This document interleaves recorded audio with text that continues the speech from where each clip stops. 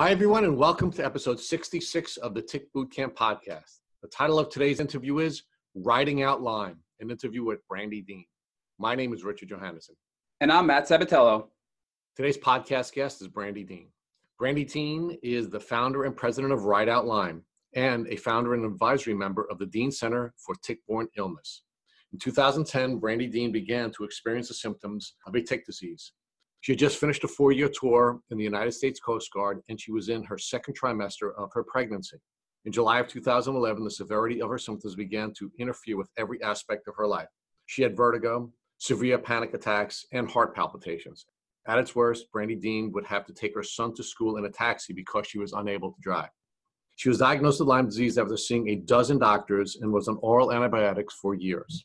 Then in 2016, Brandi Dean was bitten for a second time and developed psychosis and went into a dark depression, during which she was bedbound for months. Brandi went to Germany to receive hyperthermia treatment and maintains the benefits of that treatment through clean eating, rest, prevention, and low dose antibiotics when needed. Hey, Brandi Dean, and welcome to the program. Thanks so much for having me. So, Brandi, can you share with our listeners a little about your background? And, and we're particularly interested in, well, much of your background, but particularly interested in your time when you served in the military. Sure. So, I joined the military after living in Manhattan for a couple of years. I walked into a recruiting station on Wall Street. So, I joined the United States Coast Guard in 2003 and from there, I did search and rescue and law enforcement on a cutter off the coast of Cape Cod for two years and then worked in Boston for two years. Could you share with our listeners what your educational background is? Sure. I went to Boston University, uh, got a degree in business management, and I used to work in hospitality. I was an event planner, general manager for several hotels um, until I joined the Coast Guard. And because tick diseases are family diseases, we always ask our guests to share with us what your family situation is. Sure. So I'm married. I have two young boys. They're 11 years old and eight. Can you share with us when you began to exhibit the symptoms of a tick disease? Sure. So I was pregnant with my second son. I was in my second trimester. And I noticed when I was putting my uh, two year old to bed, I just had this feeling like I was that gravity was pulling me over. It was kind of this weird sensation, and it over the course of a few weeks got worse. Then I started having heart palpitations and just felt a little off. And this definitely felt like very different to my first pregnancy. So I'd gone to the doctor and they had suggested that it was probably just hormones. And then it wasn't until my son was born in February 2011 that I was experiencing really strong heart palpitations. I had intermittent hearing loss, and my health from there just kind of declined significantly. I had vertigo that would come and go, and wasn't until June, I think it was actually July of 2011, I was driving in the car with my husband and the right side of my body went numb and I felt disoriented and my heart was racing and I said, I think you need to bring me to the emergency room. Like I thought I was having a stroke. So he brought me to the emergency room, and that's where they had done a bunch of tests. And they actually asked me, I forgot to mention this, when I was in the emergency room in July 2011, they asked me if I had been bitten by a tick. And I recalled being bitten by something back in October of 2010 and it had bruised, but it didn't look like the typical bullseye rash that I'd seen in the news. So I didn't really worry about it until that visit to the ER, and that's why they tested me for Lyme disease. Do you recall ever having bitten by a tick prior to your symptoms de- developing? No, no. I remember getting bitten by a bug and I only saw the bruise, so I assumed I was bitten by a bug back in October. What did you know about ticks and tick diseases prior to your symptoms developing? So that's a really good question. I remember seeing it on the news for the first time uh, when they were talking about uh, that they had discovered this illness in children in Lyme, Connecticut. And I had always assumed that you took antibiotics and got better. And it wasn't until I got really sick and after doing research that I realized that people were having ongoing symptoms. Did you know anyone personally who had Lyme disease or a tick disease prior to your symptoms beginning to develop? No, I didn't. Brandi, when you were in the hospital, did the doctors run a Lyme disease test when you went to the ER? They did. I was very lucky because I know a lot of people go and are not offered the test, and we're in a highly endemic area, and I didn't know that at the time. But I, you know, I think the fact that I recalled that bug bite back in October kind of raised a red flag for them, and they were great. They actually ordered the test. However, it did come back positive. They gave me antibiotics, but when I went to my primary care physician a week later, he suggested that I didn't even have Lyme disease, that the test was false positive because I had all these neurological symptoms and I didn't have the flu like achy joints and muscles that were indicative of Lyme disease. So he suggested that I stop taking the antibiotics. How was this impacting your capacity to parent your children?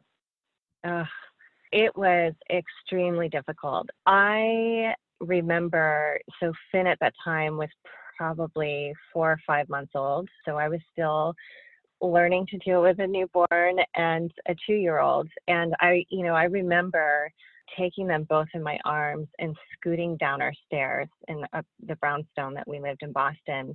And then just putting them in front of the TV and laying down and just sobbing. It was it was horrible. No one knew what was going on with me. I thought I was dying because I had never felt so sick before and you know i was used to you know when you come down with the flu you're sick for a couple of weeks and then you get better but i wasn't getting better so i was really frightened that one day my children were, were going to wake up without a mother so it was very hard how was the developing symptoms impacting you socially before i got sick I spent a lot of time with friends, going out, having dinner with them, going out with my husband. I was very active too.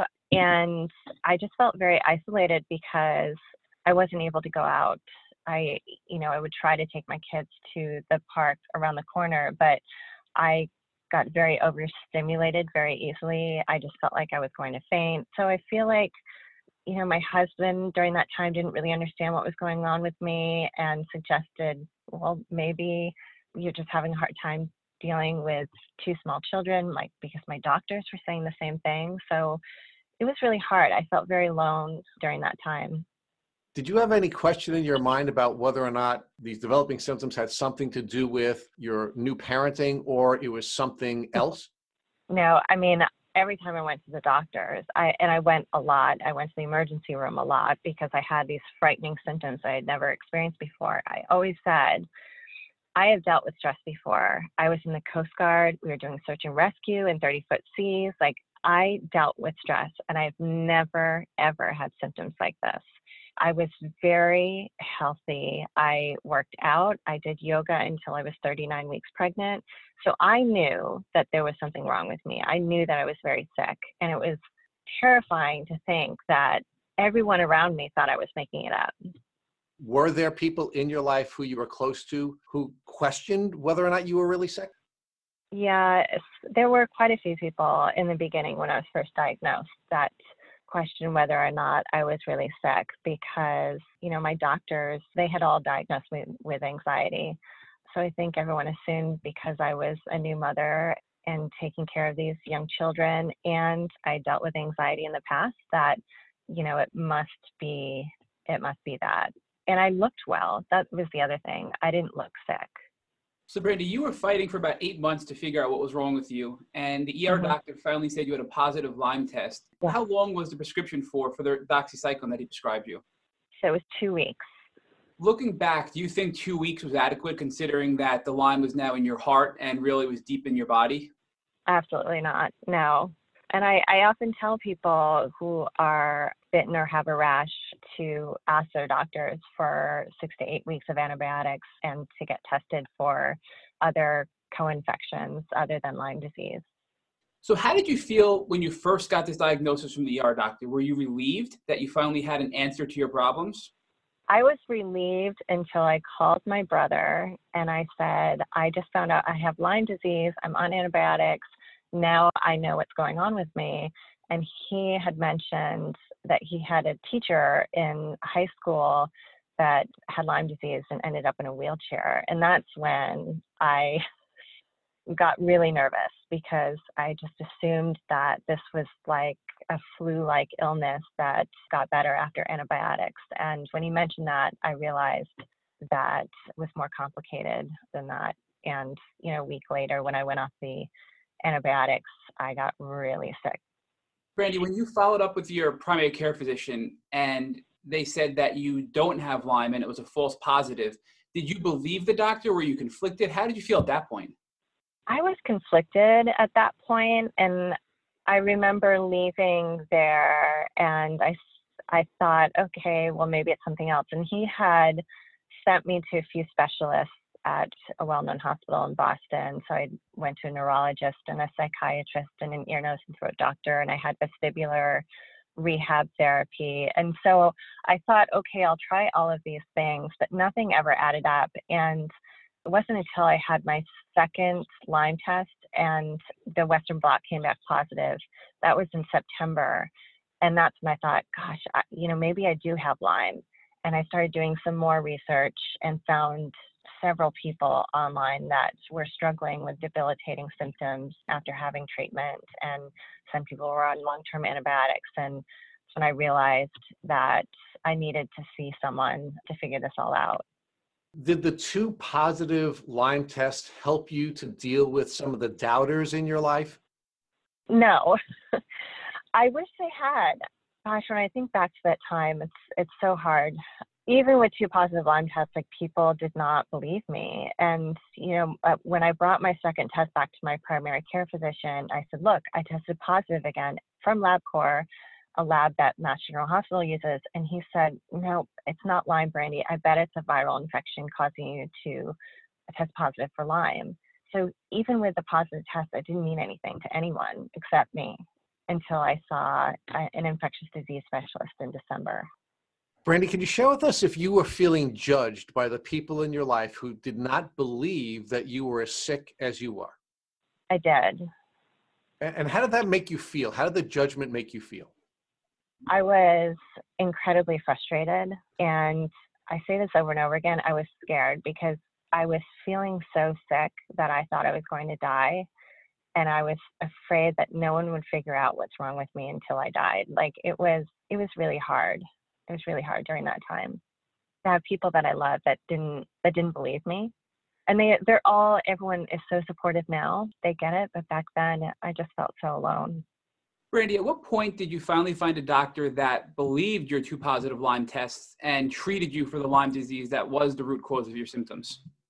So I was lucky. It was December of 2010 that I saw an infectious disease specialist, not a Lyme literate doctor who was recommended by a friend of mine. And when I sat down with her, I explained my experience with the Coast Guard and how active I was. I remember, you know, just sobbing in her office because I had seen so many doctors that really just assumed I was struggling with anxiety. And she spent an, a little over an hour with me.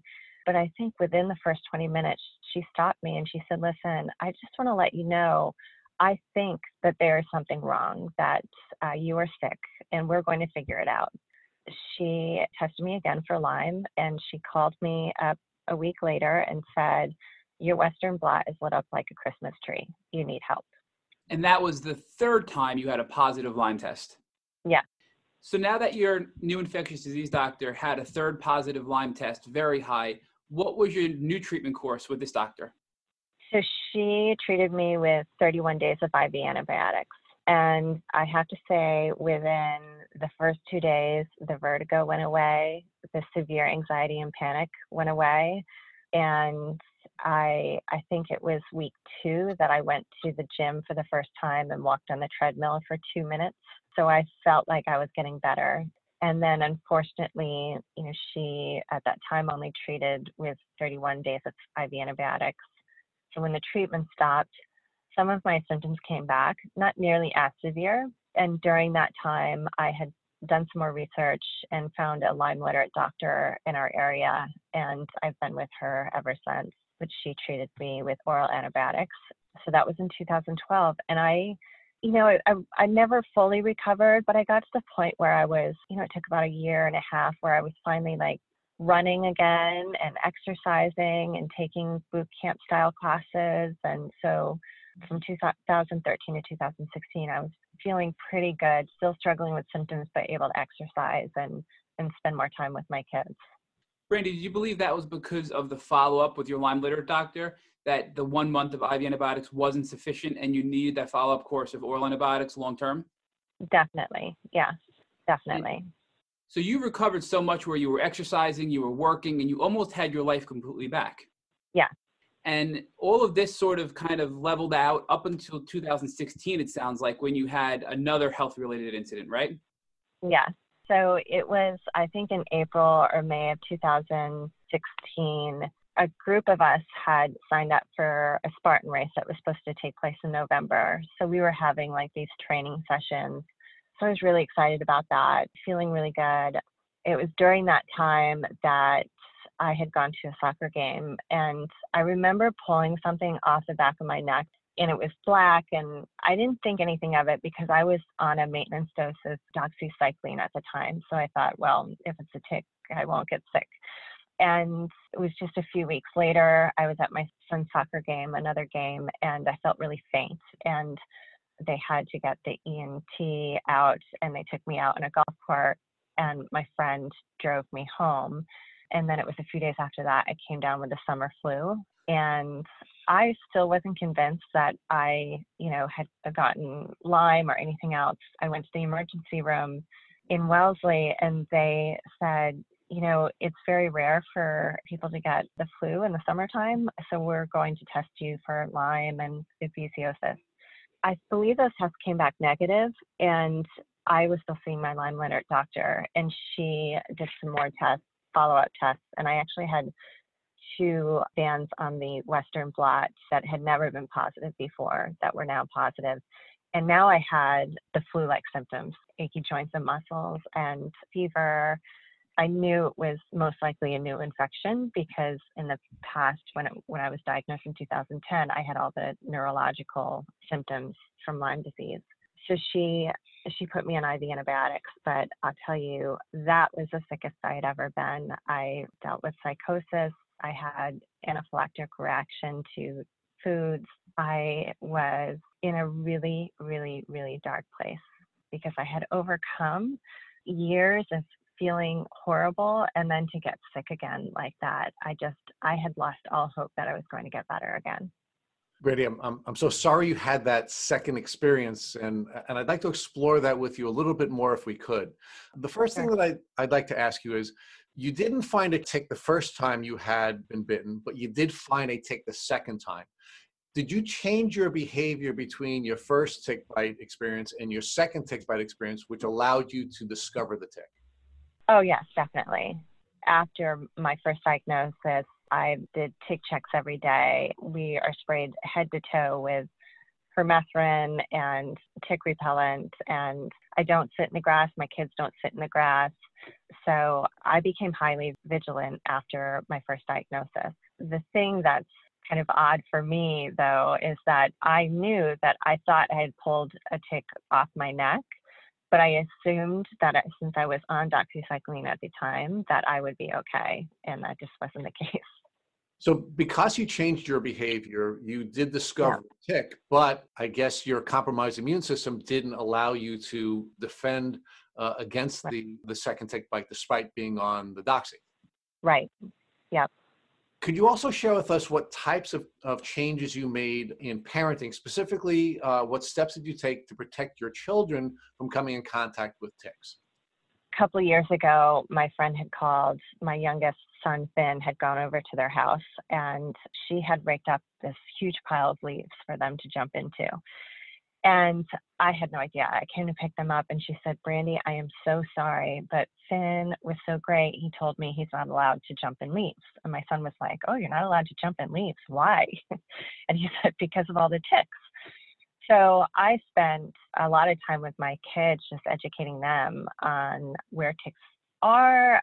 You know, when they go to soccer, they don't sit in the grass, they sit on their ball if they have to, or they stand.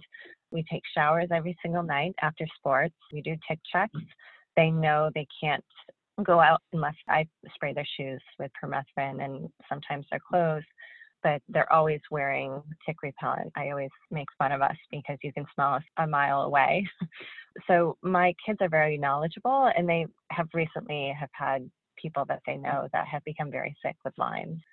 Brandi, we spoke a little bit about the doubters in your life. How did that begin to change? You, you've indicated now that the people in your life are very supportive of you.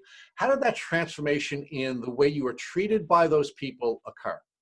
I think a few things happened. When we opened the Dean Center, they were introduced to people that were very sick and who struggled for many years uh, living with debilitating symptoms.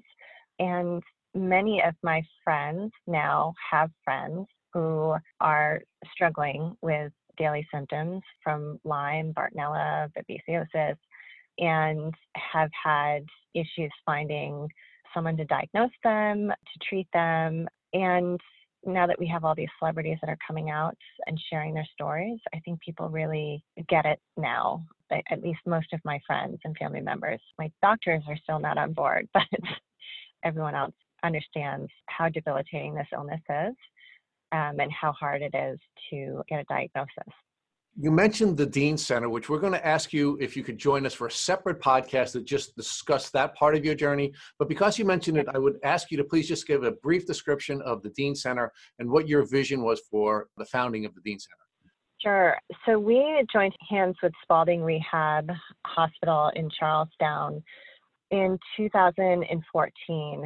So the Dean Center is the first center within an academic medical institution focused on long-term and affordable care for patients living with chronic tick-borne disease. And we decided to fund this project because when I was sick, it was so hard to find a center within Boston that was willing to treat me. So I felt completely ignored by the medical establishment, and the Dean Center has been wonderful in that it takes in patients who are dealing with chronic symptoms due to tick-borne illness. Brandi, so you were still on the doxycycline from your Lyme literate doctor from your first infection when you got bit and got infected again a second time, but yet you still got sick. So why yeah. do you think you got sick while on doxycycline? You know, I think my immune system is compromised from the first infection. I, you know, I was still dealing with symptoms and I was on a very low dose of doxycycline during that time. So I think that's probably why I got really sick again. And also, you know, there's so many different strains of Borrelia and there's Bartonella and Babesia. And I know doxycycline is not the medication of choice for all of those infections. So it could be a number of reasons. I'm not really sure. And what new antibiotics did your Lyme literate doctor put you on to now combat the new infection mm-hmm. of Lyme disease? And you also had at this point, I believe, Bartonella and Babesia as well, right? Yeah, that's correct. So I was on IV Rocephin, IV clindamycin. I went on rifampin. I tried the daptomycin protocol by Ying Zhang so I went on a number of different IV antibiotics for a year. And Brandi, what led you from all of these varying antibiotic treatments to Germany, where you ultimately ended up to go to the Clinic St. George in Germany for hyperthermia treatment? So I got better on the IV antibiotics, but I was still unable to drive long distances, and I still felt very sick. So I probably was functioning at around 60% before I went to the St. George Clinic. And I was still struggling with this really dark depression that I'd never felt before. So I spoke to several people who had gone to the clinic and who improved significantly and did a lot of research and met with a doctor from the St. George Clinic and finally decided that I would go. So I went in July and August of 2017. What were your feelings? I mean, it must have been a scary thought to travel to Germany for this, what we call here in the States, experimental treatment that may or may not be beneficial to heal you. Right. So I remember years before that, I'd heard of people going to this clinic, and I said, There's no way I will ever have that. That treatment's way too aggressive for me. But I, you know, I tried everything, and all I wanted to do was be there for my children, to go to their games, to watch them participate in life and I was barely functioning. So I felt like I didn't have a choice. I also had spoken to several people who were doing really well after the treatment. So I asked a family member to go with me, and uh, the night before, I almost canceled. I said, There's no way I can do this. But we went through with it, and it's honestly the best thing I ever did because when I got back, I was exercising again and I was able to drive my kids around to their sports, and I felt so much better. I was actually symptom free for seven months and felt amazing. So, Brandi, we've had several other guests who have had hyperthermia and they've had varying experiences. So, what was it mm-hmm. like waking up from the hyperthermia treatment? So, for me, the first thing I noticed is my head. I had clarity for the first time in seven years, and I was really tired. And then the next morning, my aunt and I went for a long walk and that following weekend, we went to Austria and walked up this really steep hill up to the castle in Salzburg. And I wasn't able to do stuff like that before. And it was hard. It was very difficult because it is such, the therapy itself is very intense. It's hard to be away from your family. You're in a different country. But if it wasn't for my aunts, I don't know if I would have gone through with my second hyperthermia treatment. And I did. And I always tell people, I get a lot of calls from people who are thinking about going to the clinic. It's very expensive. And I always tell people, I don't think it's a cure. It helped me, but I, you know, there are several people that have gone that have had no improvements, and I'm not really sure why. Would I go back again? Yes, definitely, but it's definitely a choice that you have to make for yourself. So, Brandi, from what I understand, the hyperthermia is effectively heating your body up to a temperature that Lyme can't survive in, and they pump antibiotics into you while you're in this medically induced sort of uh, sleeping state. And the Lyme bacteria will be killed off. However, it doesn't kill off some of the co-infections. Is that correct?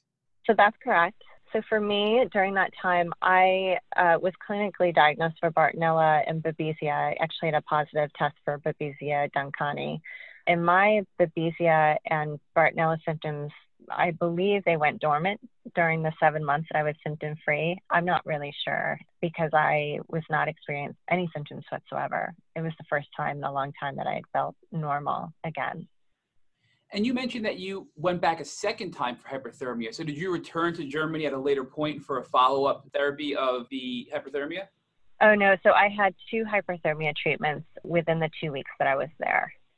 Is that standard protocol to do two different treatments while you're there? Yeah. Yeah. How are you feeling today? Now let's fast forward to where you are today. I mean, you sound great. You look great from your Instagram. You're doing such great work in the Lyme community.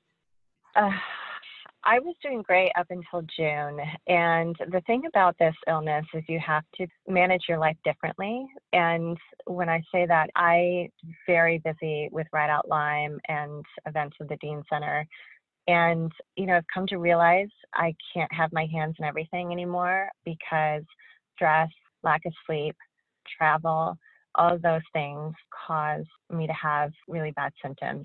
Since June, I've been feeling kind of run down, like I have the flu. And so now I'm trying to figure out what is next for me. I think I may work with someone to help build up my immune system and work on my diet and see if that helps. But I definitely have been feeling the effects of all the hard work we did in, in the beginning of the year. And I'm struggling with all the Lyme symptoms again, the brain fog. And so it's tough, but you know, we'll figure it out.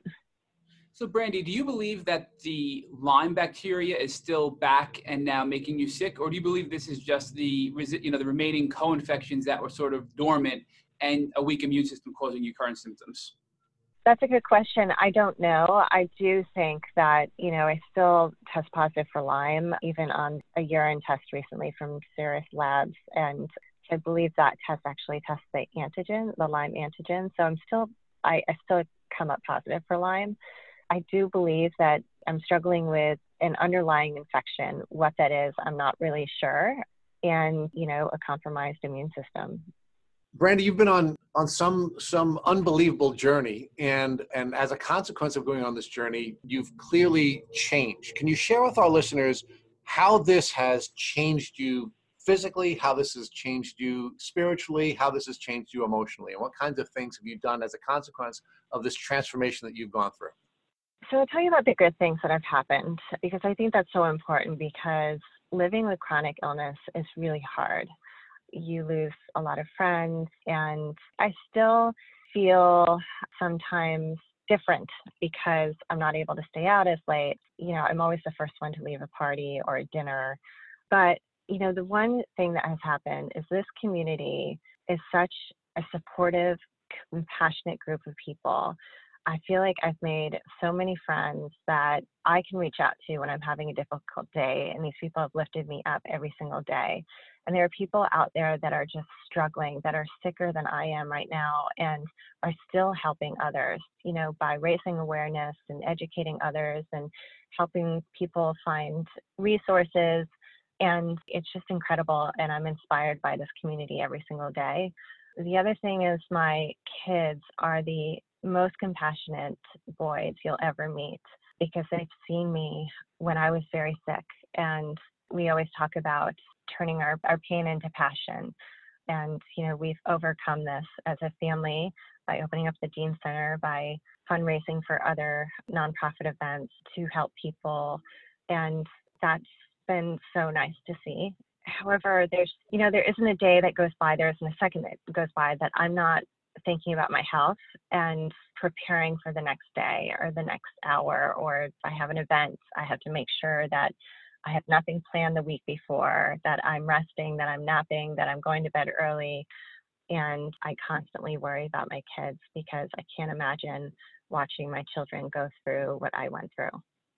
We are again going to invite you for a separate podcast to talk about the brilliant work and the generous work you're doing uh, with Ride Out Lyme. But you did describe a little bit about Ride Out Lyme during the earlier portion of your answer. So, can you share very briefly what you're doing with Ride Out Lyme and how that became a passion of yours? Yeah, so Ride Out Lyme is now a nationally recognized charity ride event. We collaborate with SoulCycle to raise funds for grants for adults in need of financial assistance for their treatments, and we, we will start taking applications in the beginning of the year 2020.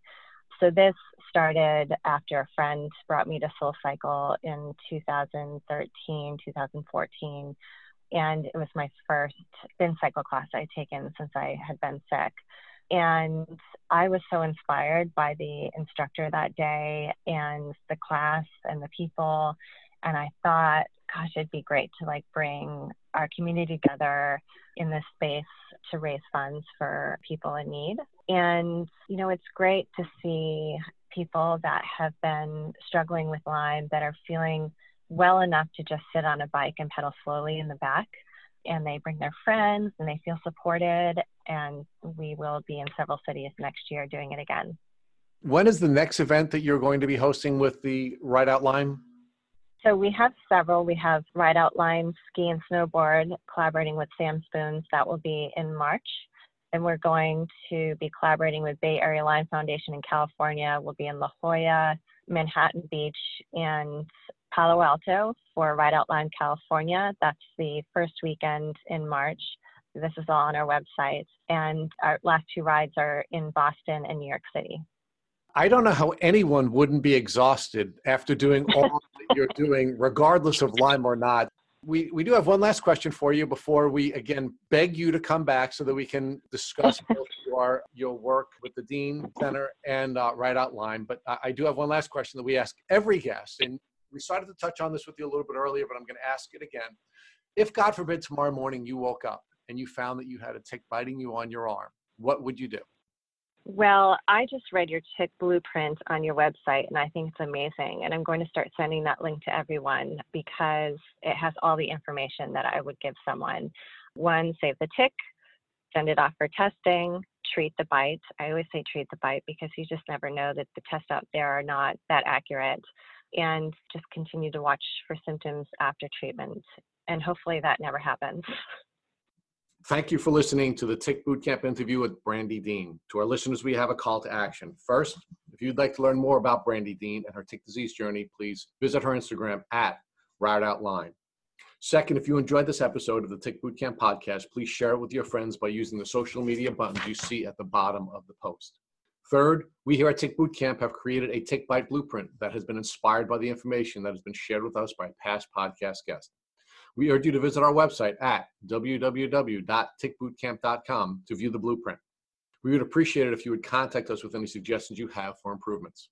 Fourth, don't forget to subscribe to this podcast on iTunes, Google Play Music, or Spotify to get the automatic episode updates of our Tick Bootcamp podcast. And finally, we thank you, our listeners, for your comments on our past podcast episodes. Please take a minute to leave us an honest review on iTunes, on Instagram, or on our website. We make it a point to read every single one of the reviews we get. Thank you for listening.